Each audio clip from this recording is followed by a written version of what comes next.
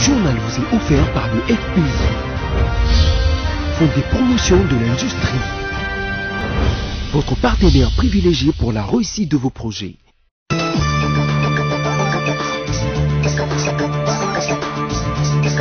Vous informer, c'est notre devoir, mesdames, messieurs. Merci de suivre ce journal sur BSC TV. Alors que certains plaident pour sa mise en résidence surveillée, d'autres encore pour aucune poursuite judiciaire contre lui, Ndemouan Nsemi est déjà mis aux arrêts depuis ce jeudi 9 mai 2019 par la police nationale congolaise. Aussitôt arrêté, celui que le vice-premier ministre et ministre de l'Intérieur, Basile Olongo, qualifié de fugitif, a été ramené à la prison centrale de Makala, d'où il s'était évadé depuis le 17 mai 2017. La profession de sage-femme doit être réglementée et révalorisée, a dit Denise Nyakeru Tshisekedi. La première dame de la RDC l'a relevé pendant la clôture des activités liées à la journée mondiale des sages-femmes, tout en signifiant qu'une sage-femme valorisée garantit aux femmes une santé reproductive de qualité. Et enfin, la route de Kimwenza est dans une impraticabilité criante, même si ne faisant pas partie du programme 100 jours d'urgence du président Félix Tshisekedi, cette route est d'une grande importance car elle mène vers des lieux touristiques comme l'Ola Bonobo et le lac de Mavalé, d'où l'importance capitale de la réhabiliter.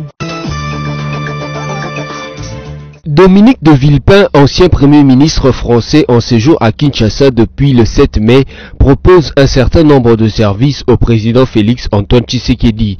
Des sources dignes de foi nous renseignent que l'ex-chef du gouvernement français devenu consultant a rencontré le numéro 1 congolais le mercredi 8 mai au lendemain de son arrivée dans la capitale congolaise. C'est sa seconde visite à Kinshasa, a-t-on appris. Les mêmes sources indiquent que Dominique de Villepin, dans sa casquette de consultant, a proposé à son interlocuteur bon nombre de services, principalement dans le domaine des échanges commerciaux, où il compte beaucoup de partenaires en Occident et en Chine, pays qui est déjà le premier partenaire de la RDC. C'est dans ce contexte que l'ex-premier ministre français sous la présidence de Jacques Chirac s'est fait accompagner dans sa délégation de son fils Arthur, qui évolue dans l'architecture intérieure, et d'une spécialiste des milliers d'affaires de l'ex-URSS, Pascal Pérez, qui dirige un cabinet en Suisse.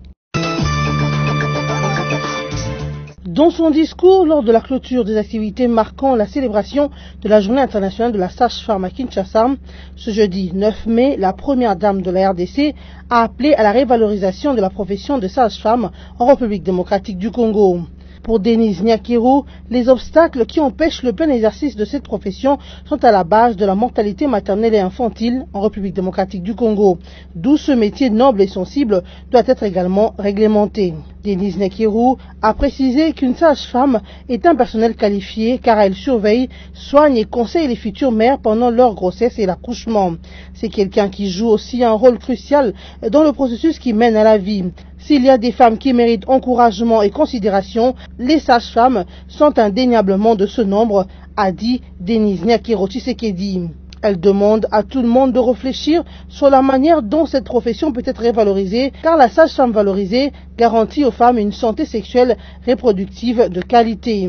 Elle-même étant personnelle de santé, Denise Nakiro Tshisekedi a promis d'être à l'écoute de toutes les propositions susceptibles d'améliorer la condition de la femme, particulièrement celle de la sage-femme.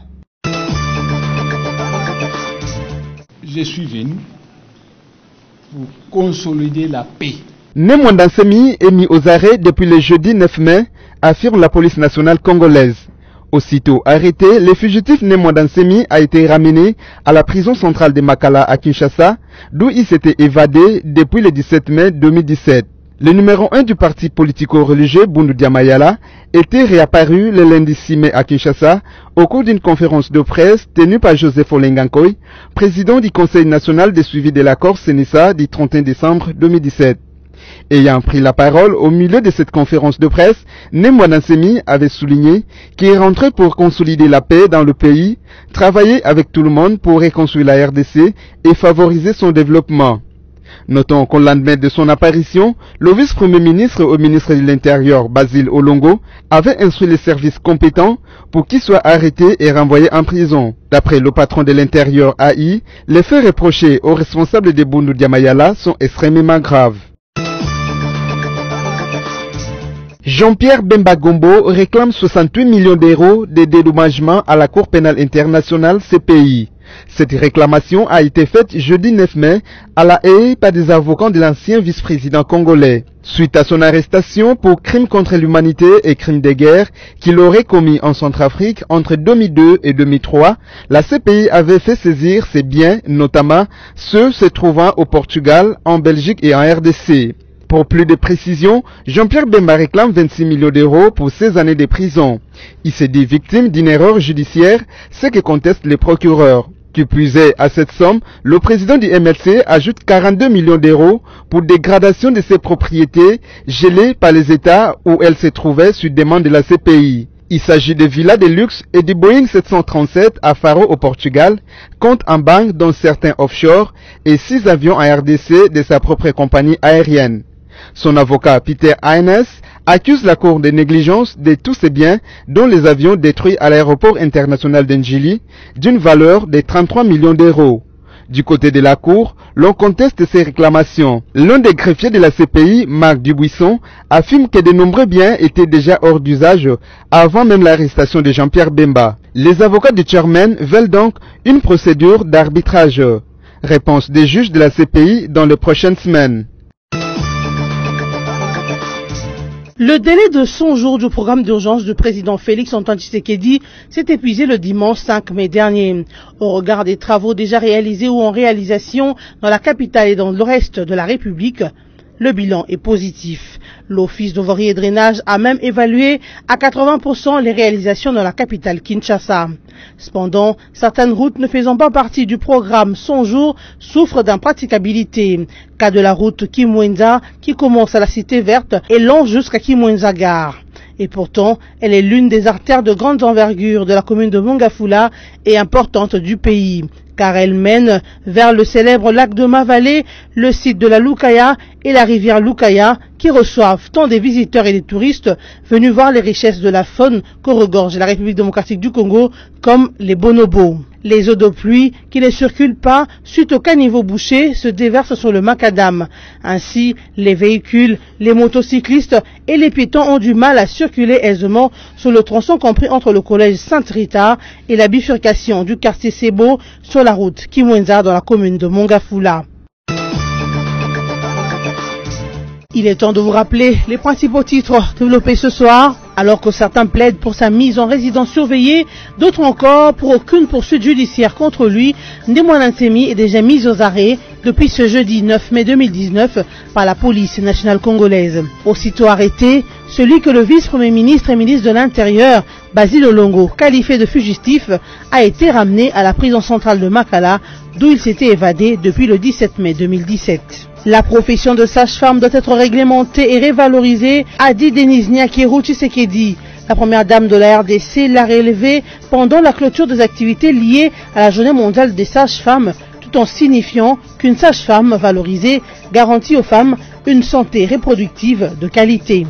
Et enfin, la route de Kimwenza est dans une impraticabilité criante, même si ne faisant pas partie du programme 100 jours d'urgence du président Félix Tshisekedi, cette route est d'une grande importance car elle mène vers des lieux touristiques comme l'Ola Bonobo et le lac de Mavalé, d'où l'importance capitale de la réhabiliter. C'en est fini pour ce journal, mesdames, messieurs. Merci à vous tous qui l'avez suivi et bonne suite au programme sur nos antennes.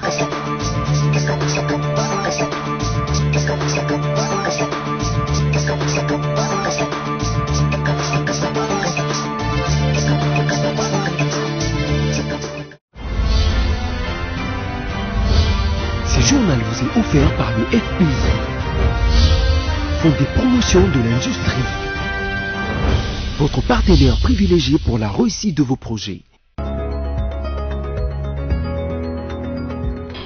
Mesdames, Messieurs, bienvenue à la revue de presse de ce vendredi 10 mai 2019 sur BSC TV.